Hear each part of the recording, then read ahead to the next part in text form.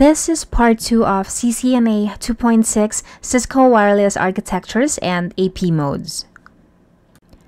The third wireless design is the cloud-based architecture.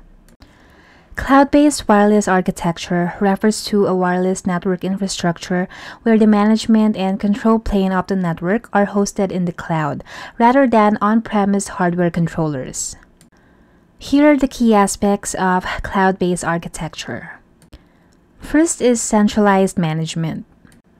A cloud-based controller is accessible via a web interface, provides a single point of management for all access points, regardless of their physical location.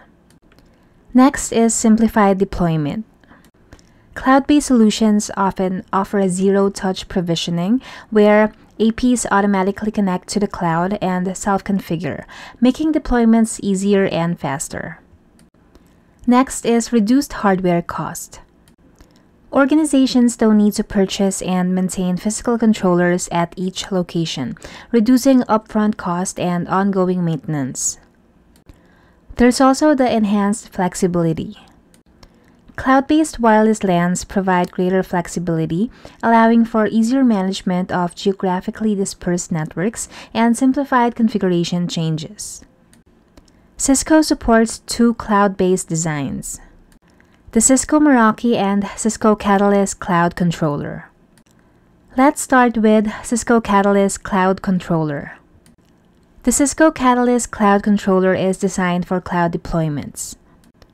The Virtual Catalyst Wireless Controller has a virtual image that can be deployed in a private or public cloud, which is a cloud-ready virtual WLC running on VMware ESXi, KVM, or public cloud providers like AWS or Azure. This example shows a high level of a cloud-based WLC design in Amazon AWS. Cloud-based wireless architectures, while offering advantages, can also present disadvantages, including latency. If deployed in a remote cloud environment far from the access points, potentially affecting roaming and real-time applications. Another disadvantage is downtime and outages. Cloud providers can experience outages, leading to disruptions in the wireless network and potential loss of access to services. And the main concern is also security risk. Cloud controllers process traffic in the cloud environment outside the organization's network, which makes it more susceptible to hacking and data breaches, potentially exposing sensitive information. Another Cisco cloud-based design is Cisco Meraki. Cisco Meraki provides centralized control, security, and analytics for enterprise networks without requiring on-premise controllers. Cisco Meraki Wireless is a 100% cloud-managed solution where all configuration, monitoring, and management are handled through the Meraki dashboard. There is no need for an on-premise or virtual controller, as Meraki access points connect directly to the Meraki cloud for centralized control. The trade-off is that Meraki offers less customization and advanced control compared to Catalyst controllers, making it better suited for simpler deployments rather than complex, high-performance enterprise environments. Cisco wireless access points can operate in several modes and we can configure them each with a specific purpose. The common modes include local, flex connect, monitor, sniffer, rogue detector, bridge or mesh, and SE connect. These are categorized into different modes. Client serving modes are local, flex connect, and bridge or mesh. And the network management and troubleshooting modes are Monitor, Sniffer, Rogue Detector, and SE Connect. Let's get started with local mode. This is the default and most common mode, where the AP directly serves clients and maintains a tunnel to the WLC. Next is Flex Connect mode. Flex Connect mode allows a Cisco access point to keep serving wireless clients even if it loses connection to the wireless LAN controller. It's designed for remote sites or branch offices where the main controller is far away. When the AP is connected to the WLC, the WLC manages policies and configuration. If the link to the WLC goes down, the AP switches to standalone mode. When the WLC link comes back, the AP syncs again. Next is the bridge or mesh mode. It is used to create wireless bridges or mesh networks, connecting separate wired networks or extending network coverage wirelessly.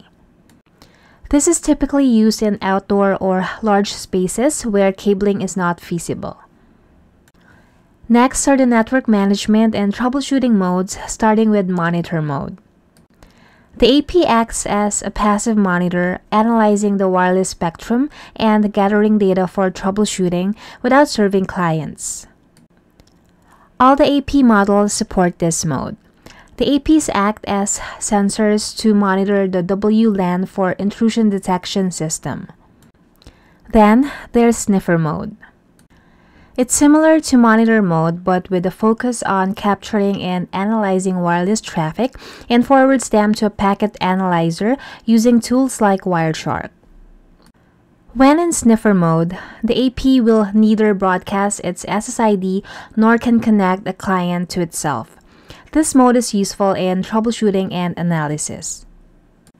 Next is rogue detector mode. In this mode, the AP is dedicated to detecting rogue access points and unauthorized devices within the network's vicinity. The detection is done by comparing MAC addresses on the LAN with those on the WLAN to detect a rogue device entry. And last is the SE Connect mode. This mode is used with Cisco Spectrum Expert to gather information about the RF spectrum for troubleshooting and analysis. For a quick summary, here's a table to compare the different modes, their purpose, and use cases.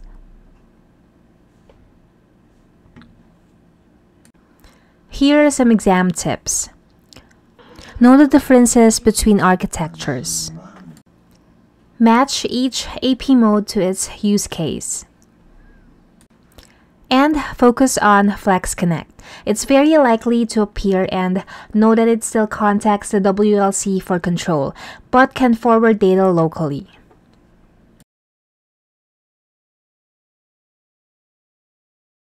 The three main Cisco wireless architectures.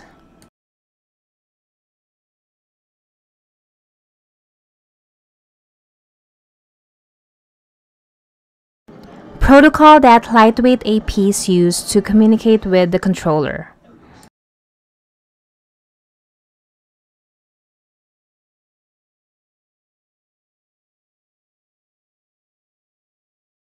Centralized management via WLC, easier scalability, and better security control.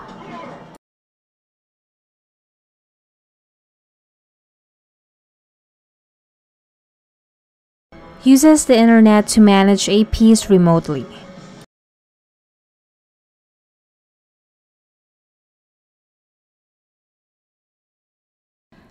AP mode that allows APs in branch offices to keep serving clients if the WLC link fails.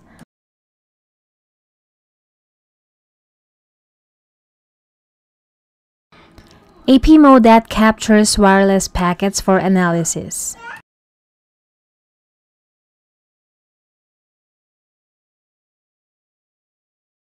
Default AP mode in Cisco Lightweight deployment.